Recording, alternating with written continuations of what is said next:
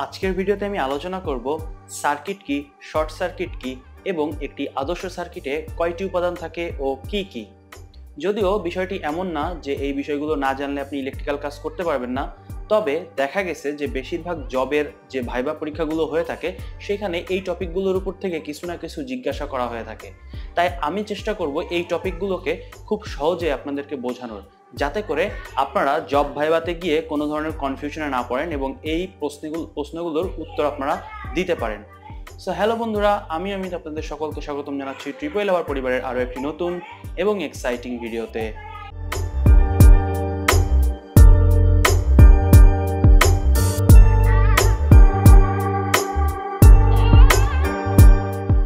প্রথমেই আমি সার্কিট সম্পর্কে আলোচনা করব, অর্থাৎ আপনাদেরকে বোঝানোর চেষ্টা করব যে হোয়াট ইজ সার্কিট?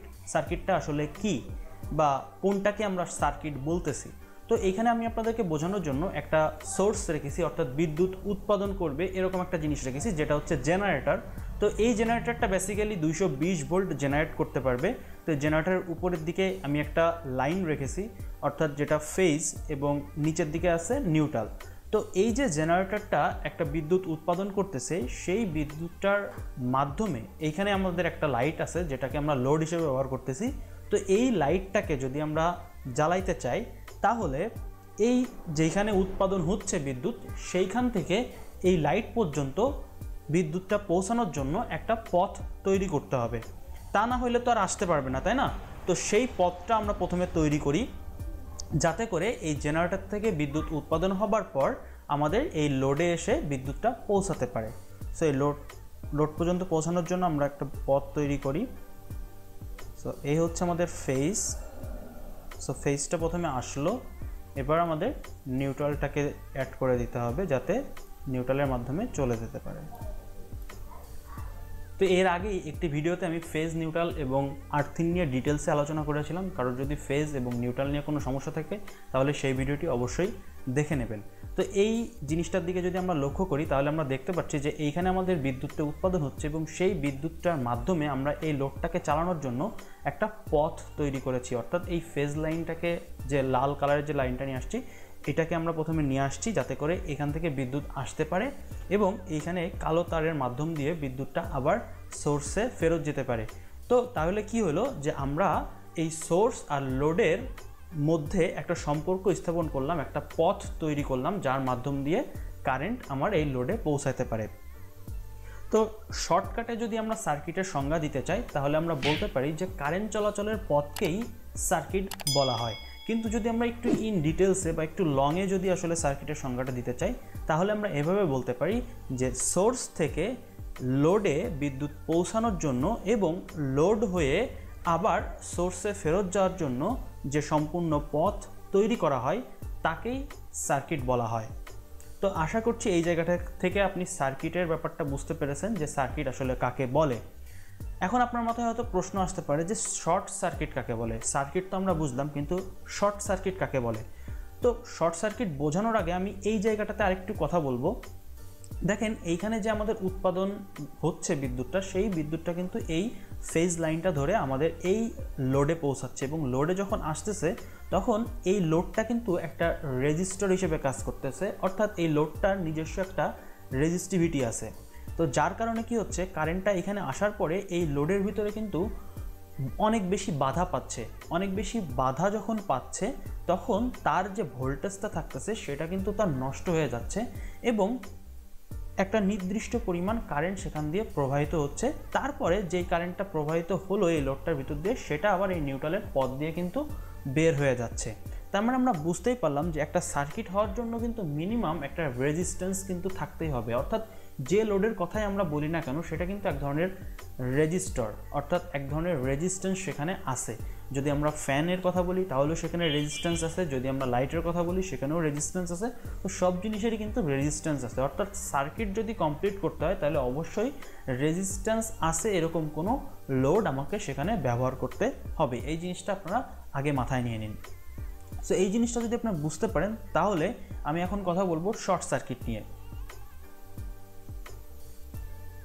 সো এই জায়গাটাতে যদি আপনি লক্ষ্য করেন, তাহলে দেখতে পাবেন এইখানে আমার রেড একটা ফেজ আছে ইয়েলো একটা ফেজ আছে, এবং ব্লু একটা ফেজ আছে। কারণ সাধারণত আপনারা জানেন যে যখন বিদ্যুৎ জেনারেট করা হয়, তখন কিন্তু থ্রি ফেজ জেনারেট করা হয় রেড ইয়েলো ব্লু সো আমি এখানে রেখেছি রেড ইয়েলো ব্লু এবং তারপরে আছে নিউট্রাল তারপরে আর রয়েছে হচ্ছে আর্থিন যেটাকে আমি ই দ্বারা প্রকাশ করেছি। সো আমাদের এই পাঁচটা লাইন আছে, তাই না?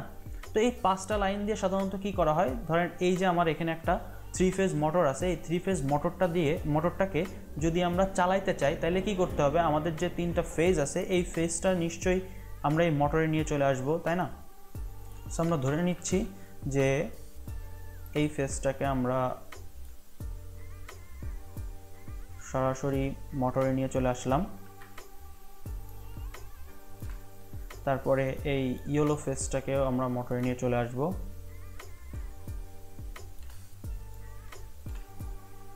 এটাকেও মনে করেন আমরা মোটরে নিয়ে চলে আসলাম। এবার আমরা ব্লু ফেসটাকে মোটরে নিয়ে চলে আসব।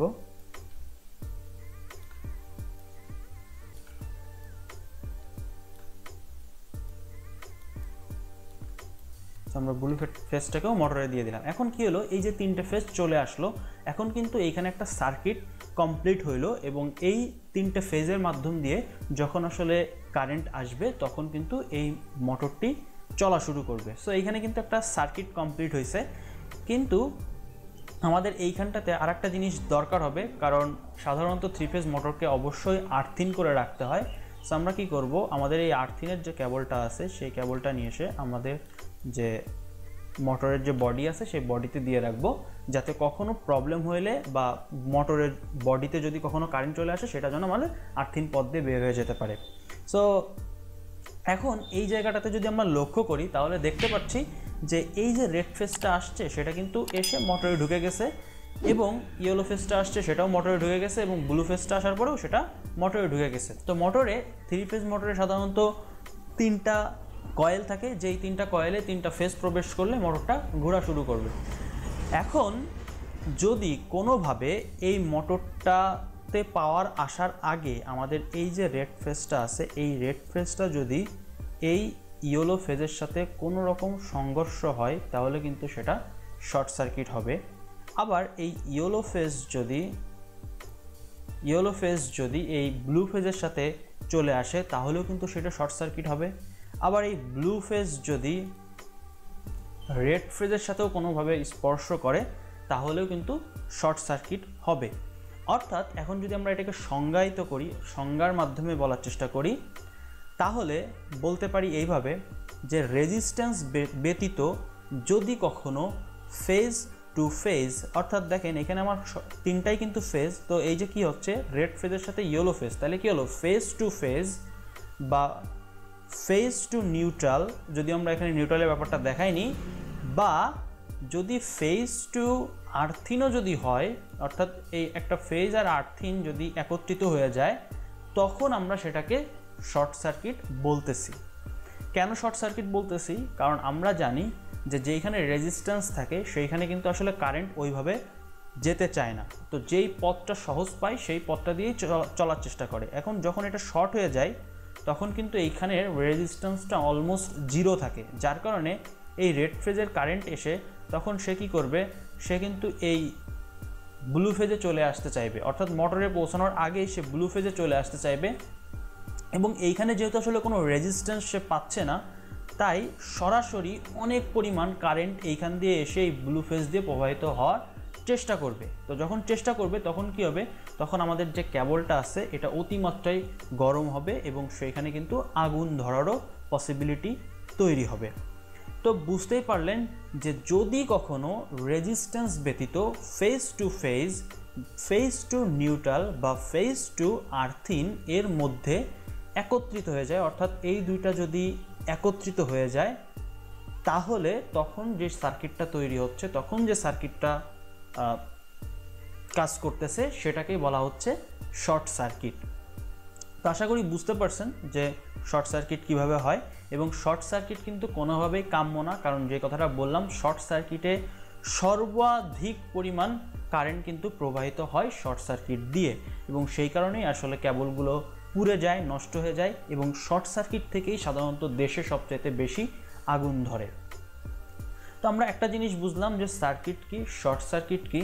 এখন একটা জিনিস বুঝতে হবে, সেটা হচ্ছে যে আমাদের সার্কিট তো করলাম, কিন্তু সার্কিট শুধু করলেই হবে না একটা আদর্শ সার্কিট বলে কথা আছে, অর্থাৎ আমাদেরকে, আমাদের, আমরা যে সার্কিটটা তৈরি করব, সেই সার্কিটটাকে আদর্শ সার্কিট হিসেবে তৈরি করতে হবে এবং আদর্শ সার্কিট হিসেবে তৈরি করার জন্য একটা একটা সার্কিটে মিনিমাম পাঁচটা জিনিস থাকতে হবে।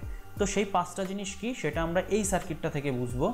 তো এইখানে এর আগে সার্কিট বোঝানোর সময় যেমনটা দেখাইছিলাম, সেরকমটাই কিন্তু এখানে সার্কিটটা কমপ্লিট করা হয়েছে। কিন্তু এইখানে আপনারা দেখতে পাচ্ছেন, এইখানে একটা জেনারেটর আছে যেটা আগের সার্কিটেও ছিল।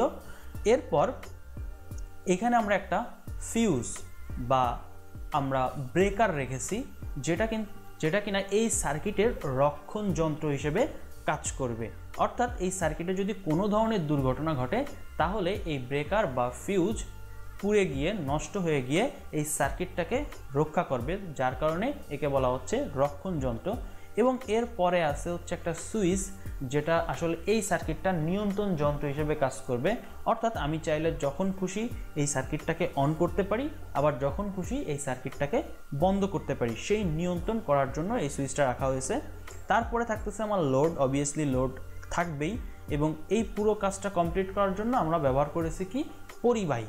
তো এই জায়গাটা থেকে যদি আমরা লক্ষ্য করি, তাহলে আমরা দেখতেছি যে একটা আদর্শ সার্কিট হওয়ার জন্য আমার মোট পাঁচটা জিনিস দরকার। তার মধ্যে প্রথম জিনিস হচ্ছে সোর্স, যেটা অবশ্যই থাকতে হবে। দ্বিতীয় যেটা, সেটা হচ্ছে পরিবাহী, অর্থাৎ বিদ্যুৎ পরিবহন করবে এরকম কোনো জিনিস। তারপরে তৃতীয় যে জিনিস, তা হচ্ছে যে রক্ষণ যন্ত্র, অর্থাৎ সার্কিটটাকে রক্ষা করতে পারবে এরকম জিনিস।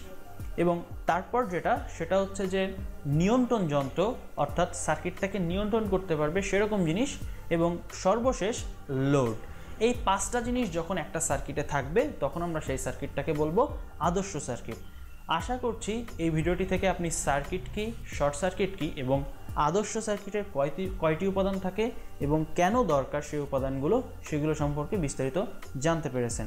যদি ভিডিওটি ভালো লেগে থাকে, তাহলে অবশ্যই একটি লাইক দিয়ে দেবেন। কমেন্ট করে আপনার মূল্যবান বক্তব্য আমার কাছে পৌঁছাতে ভুলবেন না। যদি আপনার অন্য যে কোনো ধরনের সমস্যা থাকে ইলেকট্রিক্যাল বিষয়ে, তাহলে নিচে আমাদের গ্রুপের লিঙ্ক দেওয়া আছে, অর্থাৎ ডিসক্রিপশন বক্সে আমাদের গ্রুপের লিঙ্ক দেওয়া আছে। সেখান থেকে আমাদের গ্রুপে জয়েন্ট হয়ে সেইখানে আপনি আপনার সমস্যার কথা বলতে পারেন। আমি সহ আরও অন্যান্য যারা এক্সপার্ট আছে, তারা আপনাকে সাহায্য করার চেষ্টা করবে। আপনি যদি আমাদের চ্যানেলটিতে প্রথমবারের মতো এসে থাকেন, তাহলে অবশ্যই সাবস্ক্রাইব করে পাশে আসা বেল আইকনটিতে চাপ দিয়ে নোটিফিকেশন অল করে রাখবেন। এতে করে আপনি আমাদের প্রত্যেকটা ভিডিওর নোটিফিকেশন পেতে থাকবেন। তো থ্যাংক ইউ সো মাচ দেখা হচ্ছে পরবর্তী ভিডিওতে সেই পর্যন্ত ভালো থাকবেন, সুস্থ থাকবেন, সাবধানে থাকবেন। Good bye